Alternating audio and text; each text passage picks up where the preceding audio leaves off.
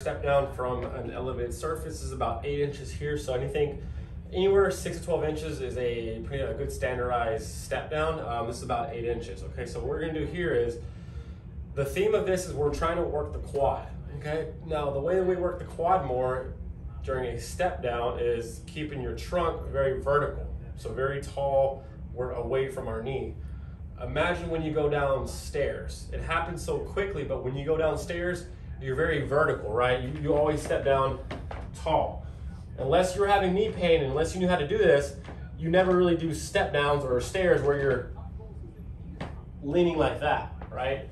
So we're gonna try to keep that same body position as we're doing the step down. So what you're gonna do is, again, get, get your foot at the very edge of the, the surface, but my whole, my whole leg is still on there, okay? Now from this position, keep a nice tall chest. You can have your hands um, kind of crossed around your chest. I think that's the most comfortable. Um, from this position, or you can have your hands a little bit outside so you can look at your foot for this exercise. Standing nice and tall, toes are up on the non-working leg. You're gonna think about dropping yourself down towards the ground, staying very tall.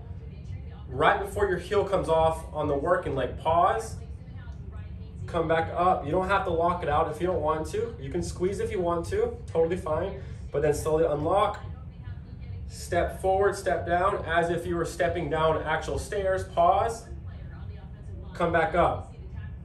Again, you're going, you're, you don't necessarily have to touch the ground because if it's so high up, you're probably not gonna be able to touch the ground, but you wanna think about like if you're gonna kiss the ground with your heel on the floating leg, okay? So that keeps you a lot more upright. So again, you're going down, pausing, one, two, and coming up, right? So a few things that we're looking for is imagine you had a belt line, a belt buckle. We don't want to reach for the ground. So what that means is I don't want you reaching. Okay, because if, if I start reaching, I start side bending. Okay, so don't reach for the ground. Lower yourself through the working leg.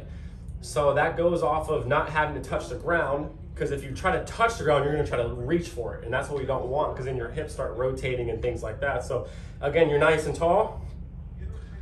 Really, really lean forward, pause, and come back up. Okay, so from the from the side, what that looks like is again, I'm at the very front edge.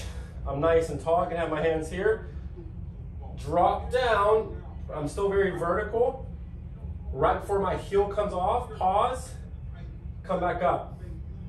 Straight down, straight forward, as if I am going down some stairs, pause, come back up. Okay, so that would be our part one.